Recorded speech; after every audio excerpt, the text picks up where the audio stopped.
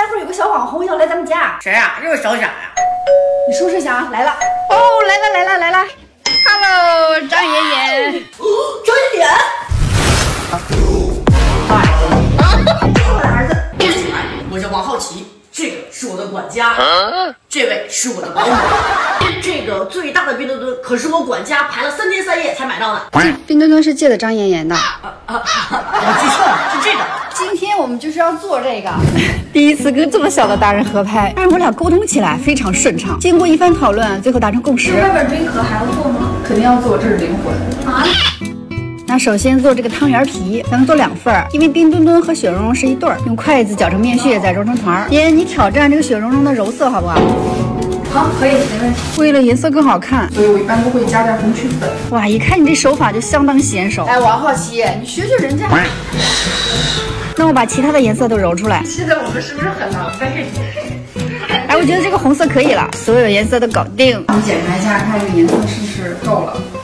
差不多可以了。就按我昨天跟你说这个配方做。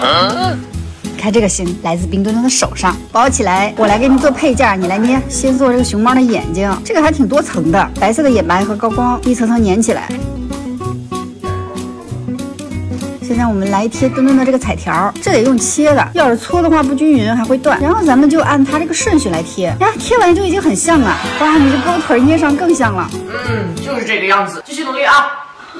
然后咱们就可以批量生产了。哎呀，墩墩差不多了，咱们赶紧做雪融融吧。这个就包个巧克力馅儿的，我还给你做配件啊。天都快黑了，咱们得加点素了。你做好几个小时了都，快累瘫了。但是成果还是不错的嘛？还是挺好看的。那咱开始蒸了啊！我蒸完更漂亮了，蒸完比蒸前漂亮。下次还来吗？我们还一起合作。可以。不合适吧？啊哦，我平时用刀叉吃习惯了。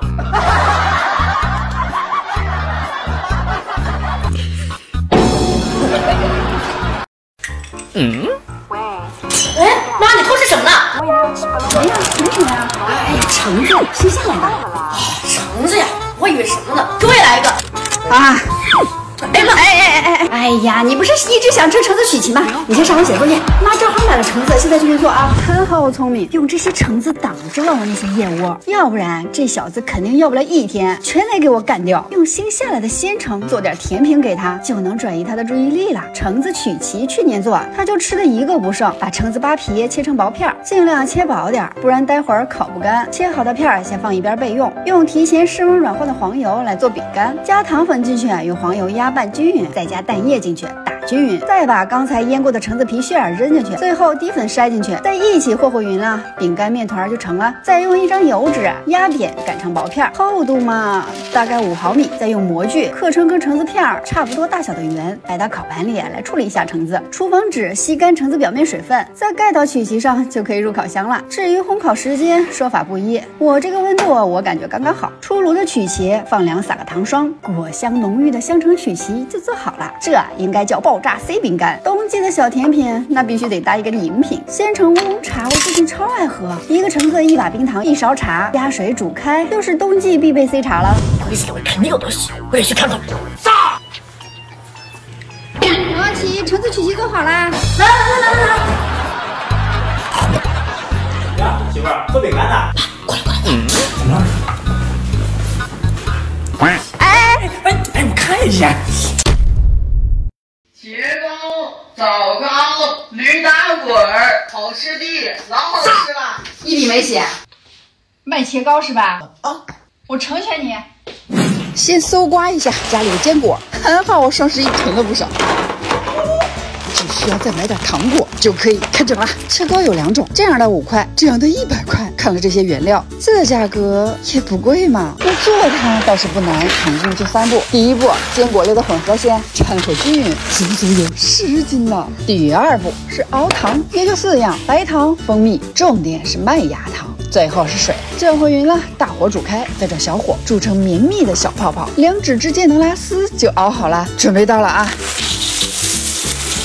哇，赶紧的翻拌，让每颗坚果都裹上糖。一二，走你！倒个大容器里，盖张油纸，用力压平，不然切开会散掉，放凉后倒扣。最后一步也是最画龙点睛的，那我做的装饰自然跟传统那个不一样。孩子们的喜好我最懂了，这上面可全是他们的美好。哇哦，我这彩虹切糕能卷死路边摊了吧？王小琪，走摆摊去。哦，终于到了，来吧，开始你的表演吧。你先让我尝尝好不好吃啊？哇，切糕，先尝一尝。好吃吧？嗯，开始吧，来。切切糕，切糕，卖切糕喽！快不要错过。你这好吃吗？你这个？哎，得跟你说，老好吃了，你再不买我就吃光了。刚才喊的声太小了，你肯定没人买。你这样，你给我一块儿，然后我帮你喊。啊，真的，好吃吧？好吃，是是是是。切糕，有切糕吃。继续，你继续，你拿吧，你在你在。So Y O U W I L L B E L I K E T H E M。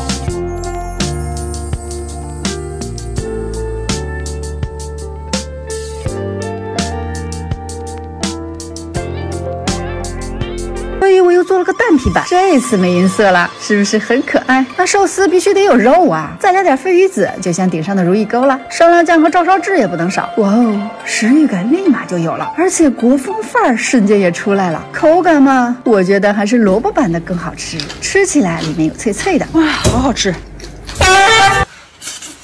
妈，不要给我吃啊！如何一毛不拔让儿子炫草莓？我这八十八一颗的草莓，你不到几分钟给我炫完了？我让你米七的大哥，这都是给我炫的，你这样都给我塞牙缝儿的。你牙缝怎么看那你叫他给我买点儿啊。